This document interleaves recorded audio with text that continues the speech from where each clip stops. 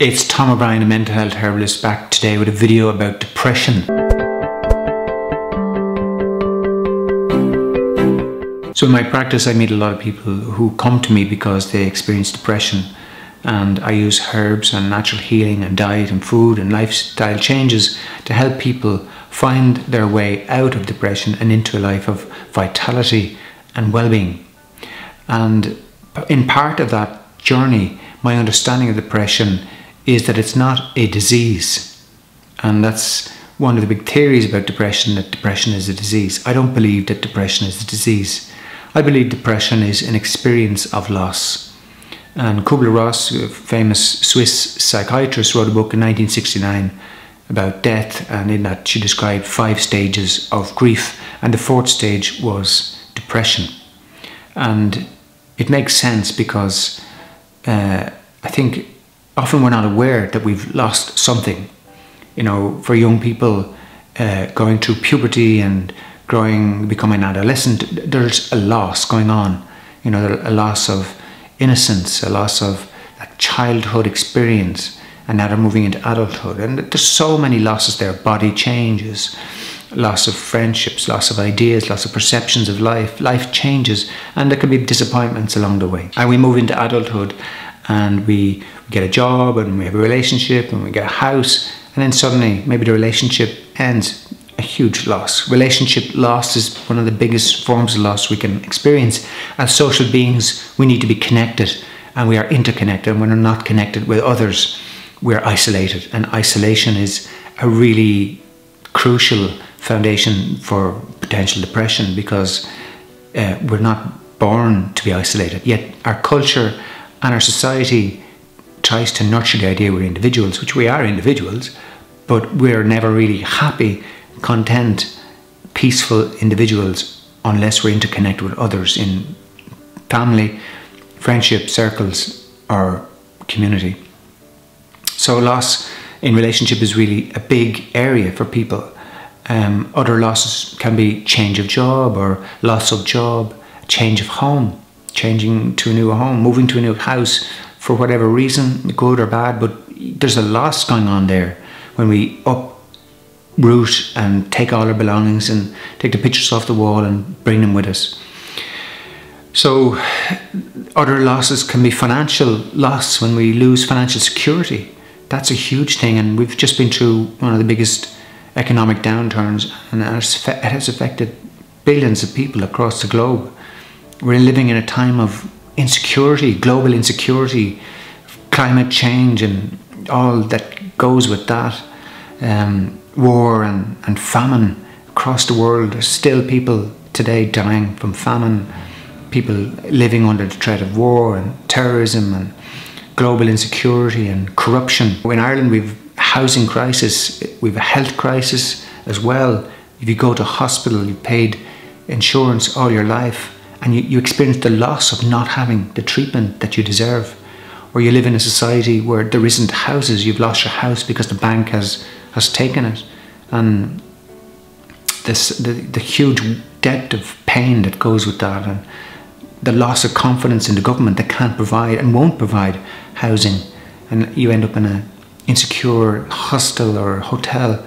And there are children in Ireland growing up in hotels and the loss of security of even just seeing their mother cooking and simple things like that. The loss of body changes, you know, as we grow older, go through different phases of life, menopause and putting weight or losing our health or losing self confidence, self belief, self esteem. There are just so many, many types of loss that we experience, and often we're not equipped or ready to deal with those losses. And that's what Kubler Ross describes as denial and anger and bargaining, the early stages of dealing with loss, where we just don't deal with it. But then we end up experiencing depression. Depression is not something that, you know, is triggered by your biology. It's something your biology is responding to life circumstances. Your, your, your body, your physical body, your spiritual and psychological body is responding to the experiences that you have found yourself in, whatever that loss is. But you're not consciously aware at that moment that what has created this depression, what has led you to feeling depressed. And then the physical body starts to become inflamed. And it's one of the new theories of depression is that it's an, an inflammation. The body feels under attack, and that's what the body does when the, when we're under attack. Is the immune system responds by inf, inflammation response. In in the society we live in, then you know the, the dominant thing is is is to cope. You know, we're, told to cope with our feelings and to cheer up and, and, and don't be so sad and, you know, look on the bright side. And often people around us don't understand what we're experiencing, don't know how to help us, and we're quickly referred to our GP who doesn't necessarily understand how we experience either. The majority of GPs, doctors, medical doctors, um, will quickly prescribe us antidepressants. And I just seen a statistic there in the UK, something like 5 million is spent every week on antidepressants. And in America, there's something like 100 million adults on antidepressants. So globally, depression is a huge problem and it's absorbing huge resources.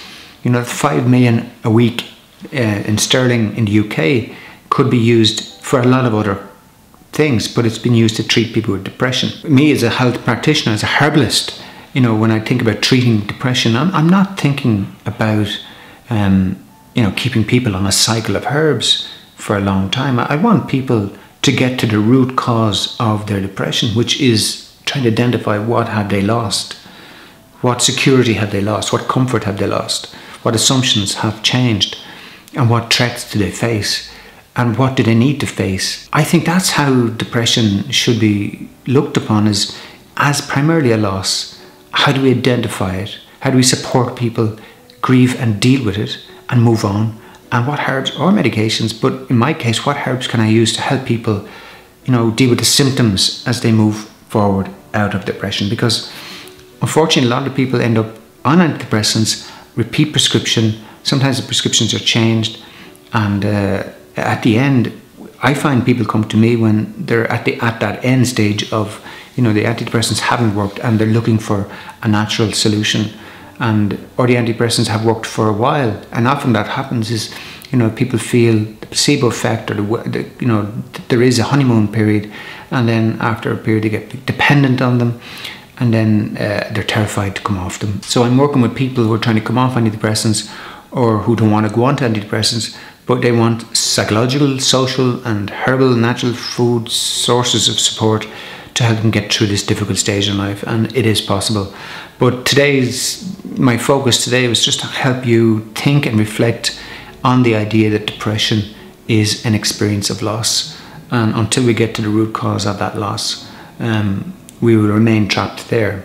The, the, the fifth stage in Kubler Ross's theory of, of grief is acceptance.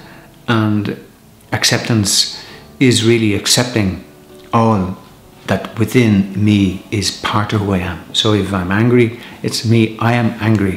If I'm sad and depressed, I am sad and depressed. It's owning the loss, accepting, moving into acceptance is extremely difficult. It's not easy because we live in a culture of denial. We live in a culture of happy, happy, happy, you know, uh, Instagram. You're not supposed to put down, put sad faces or uh, tell sad stories, but the reality is that people are hiding a lot of pain behind these masks of happiness or I'm okay, but inside I'm, I'm broken, I'm sad, I'm struggling. And a lot of people, you know, in jobs and in families struggling to keep things going. And often antidepressants help people just hold things things together for a little bit longer. But uh, you know, eventually things fall apart, and that's acceptance is accepting and letting go, and then building a new experience, whatever that is, uh, acceptance of my body, um, of how I feel, of life, of what the future holds for me, what the present holds the relationships I'm in, the work I'm in, the money I earn, all these things. Acceptance is the most powerful way to live our lives, and ultimately, it's a basis of mindfulness and forgiveness is the key. Um, we can spend our lives rationalizing and uh, trying to figure out, but we can't solve these problems with our heads. We've got to solve them with our hearts uh, and forgiveness. So we need a spirituality. We need a spirituality to live a life of wellness and peace and happiness. and love. So I hope you got something out of this today. Um, I'd love to hear from you in the comments what has been your experience of depression, of loss, grief, and any thoughts that you have on my perspective. I'm not denying that your perspective is different or maybe unique or you don't necessarily have to agree with me. I just want to share this with you today um, so that if if you're experiencing depression, maybe you can think about, you know, have you an awareness of the losses that you've experienced? Maybe to do a list of all the losses in your life and acknowledge them and start looking at rituals. Maybe in future videos, I'll start looking at ways of supporting you to to acknowledge those losses and say goodbye to them. And um, you know, then you got to build in a whole healthy lifestyle.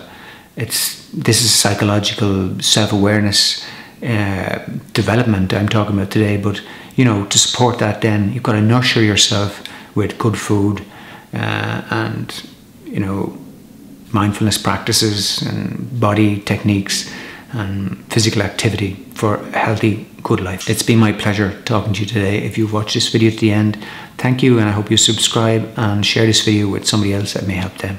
And hopefully, I'll see you in a video very soon. Take care. Bye bye.